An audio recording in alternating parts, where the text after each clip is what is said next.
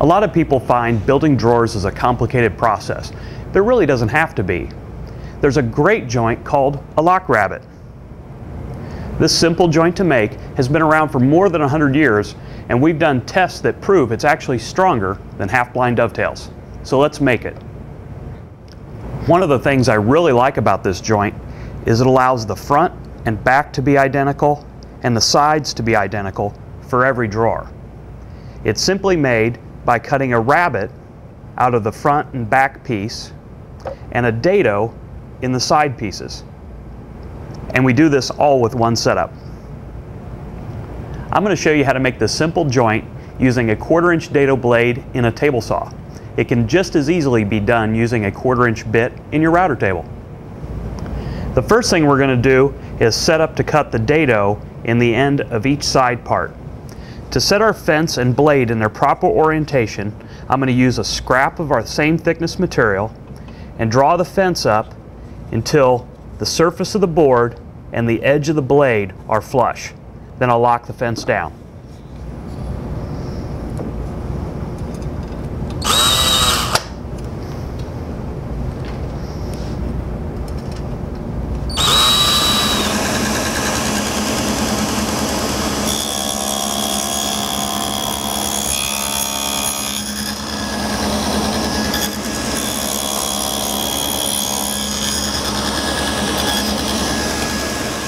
Test the fit of the joint, I'll hold my two cuts together. As you can tell, this isn't quite working. The dado needs to be a little wider. To do that, I'll add a shim. Oh, that's better. Now that we have the width of cut set, now let's adjust our height. Now I'm going to make a test rabbet in the end of a test a scrap block for a side.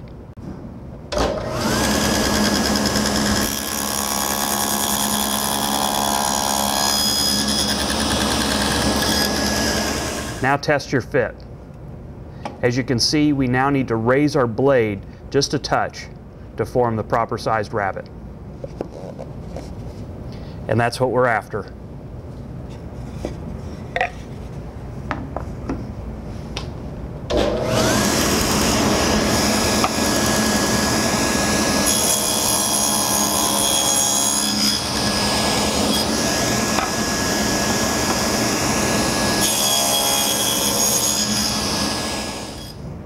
Now we're going to form the rabbets on the front and back parts.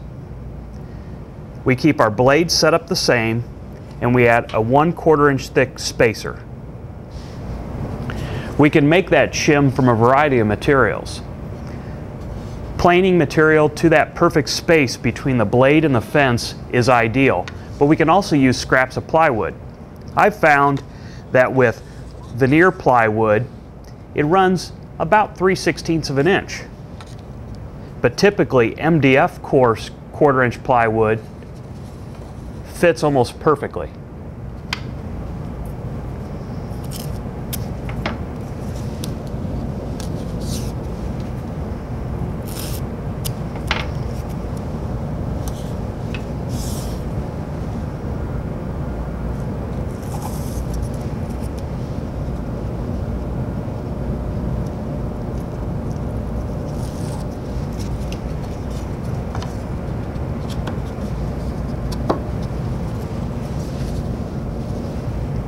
With the shim in place, we need to move our miter gauge extension.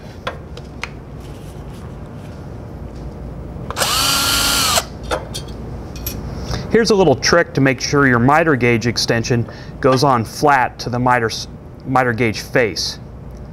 On the back side, remove any tear out or blowout from the screws you've driven with either a chisel or just a sharp utility knife.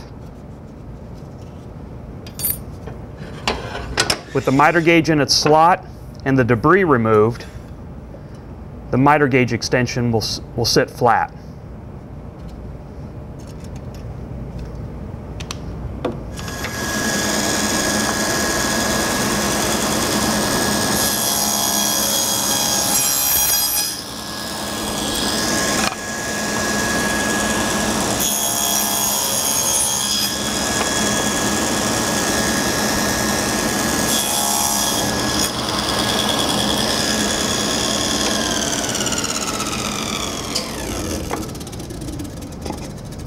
That fits really nice. If maybe there was some debris underneath the board when we cut it, the rabbet may not be deep enough. I can simply take a piece of adhesive back sandpaper on a board and sand that rabbet just a little deeper until it fits like a glove. With all of our setup still the same, we can now cut the grooves to receive the bottoms. We'll cut a quarter inch groove, one quarter inch from the bottom. To do that, simply remove your spacer, remove the miter gauge,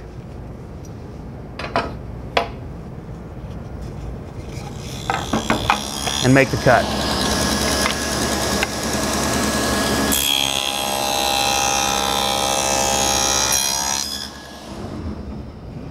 On the drawer sides, the groove goes on the same face where you cut your dados. But on the drawer fronts and backs, you'll actually be cutting on the opposite face from where you cut the rabbet before.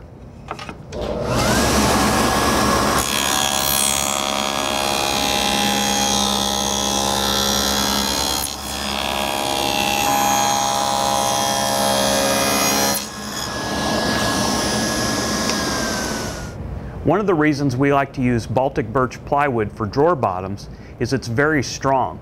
The other thing, as it's very close to a quarter inch thick, it fits the grooves very well. If you use material that's less than a quarter of an inch, you may need to use a single pass on a regular saw blade, adjust the fence over to widen the groove, and then cut the second groove. The nice thing is, all our critical joinery is done with that initial setup and the drawer bottom, as long as we're consistent in where the groove is on all our sides and all our fronts, we're good to go. After cutting all of our joinery, I dry assembled a drawer and cut the bottom to size. Now, let's see how it goes together. I add the bottom to one of the sides, slip a front or back on, add the other one, Now I can add the second side. We've just done a one setup lock rabbet drawer.